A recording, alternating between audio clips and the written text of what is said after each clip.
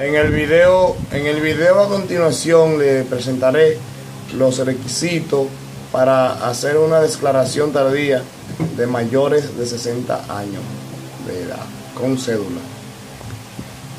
Primero, debe aportar la copia de cédula del declarado. Segundo, copia de cédula de los padres o declarantes. Tercero, certificación de no declarado de la oficialía correspondiente. Cuarto, oficio de la oficialía correspondiente pidiendo la declaración de dicho inscrito. Eh, tomando en cuenta que si los padres de, este no son casados, el mismo perderá el primer apellido.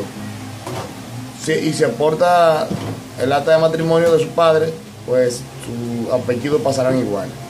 Gracias.